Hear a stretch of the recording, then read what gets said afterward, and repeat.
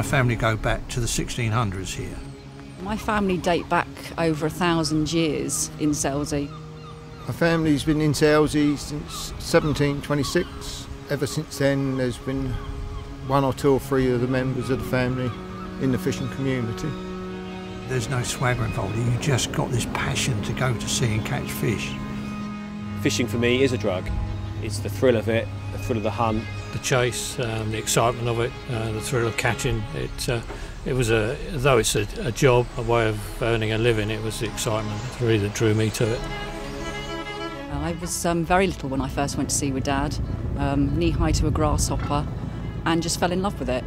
It was just, it was fun, a lot of fun. Hard work, but fun. From a youngster, three years old, messing about down the beach and couldn't wait to get in the boat, you know, and go to sea with my father. When I first went to sea with my father at five or six, I was as sick as a dog, but there was just something about it. So you just kept going.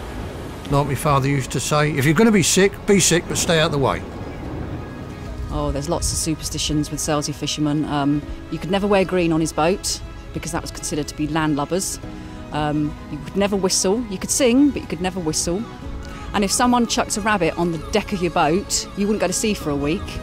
He had a saying that when the wind is in the west, the fish are at their best. When the wind is in the east, the fish are at their least. I was fortunate to start fishing at a time when we were still fishing using willow pots, uh, everything made out of willow. It was all manual, everything manual. Fishing was a lot different then. What it is now, we had to cut the willows in the winter and make the pots. The good thing about it was that the fishing got a good rest during the winter. It was far more seasonal, the fishing. Um, we used to start sort of around the March time, put the pots in and fish and through the summer into the autumn. Generally by Christmas we'd have the pots home stored. As time moved on the markets improved in the continent.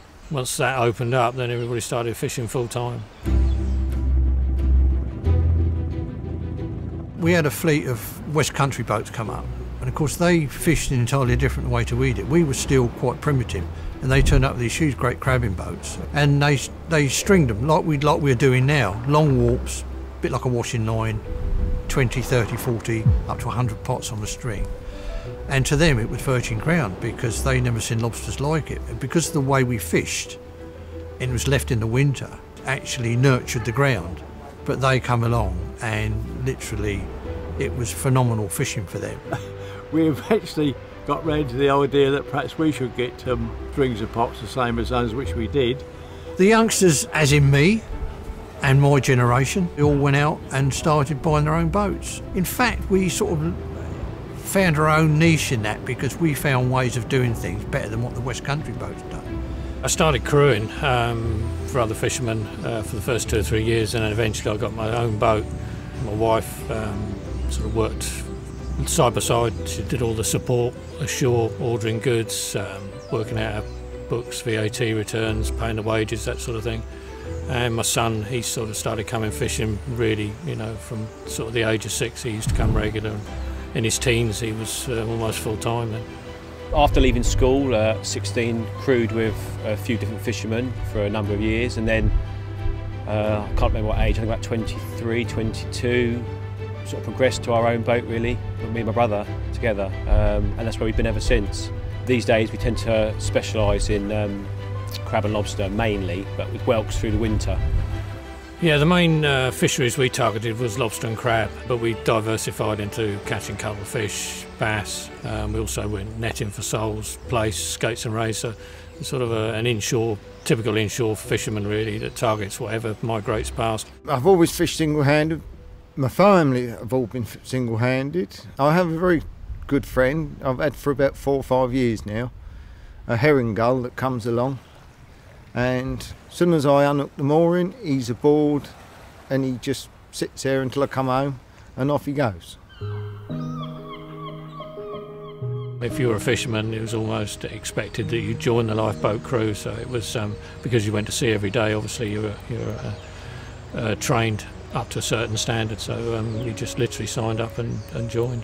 I joined the crew in 1991. I was 20. One of my first calls on the lifeboat was to a girl on a lilo off of Pagham. She'd drifted out to sea. The helicopter had landed in um, Pagham Harbour and we had to take her to them because she needed to go to hospital because she was hypothermic. You've never seen someone so so much relief on someone's face when they see help coming. I actually got to carry her out to the helicopter, which was quite good. I think she was a bit shocked that she saw a woman there.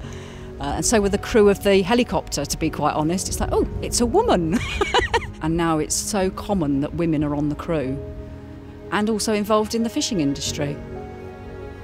One thing with fishing it is actually the most dangerous profession in the UK at the moment by far. Um, you can sort of mitigate for most things, but accidents do happen. We've had crew go over the side. I've um, had fairly substantial knife injuries on the hands, the same as many people have. Also um, lost a thumb where a hatch on the boat came down and chopped it off when we were at sea. So it's it's a risk you, know, you, you accept when you take on fishing. If you do 42 years and come out of the fishing industry with all your limbs, then you've done pretty well. Fishing is really dangerous around here. I mean, we're quite exposed because we're on a peninsula. The seas are rough. There's lots of rocks. Um, so you really do have to know what you're doing. We face quite a danger before we've even got out to the boat. Really, many many fishermen have, have uh, turned turned over boats and uh, capsized coming ashore. If we had a harbour here, from our perspective, it's a safety thing. It will allow us to be able to get to sea and back again in safety.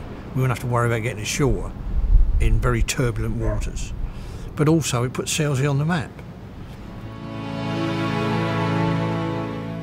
The, the outlay to go to sea nowadays is is astronomical compared to it was when I first started with Willows. The thing is, uh, everything is so dear now. It don't matter the, the bait. The bait is dear. We used to catch a lot of our bait ourselves. You can't do that now because you want so much bait. The price of lobsters uh, st- still getting the same money in the summer as we were 30 years ago.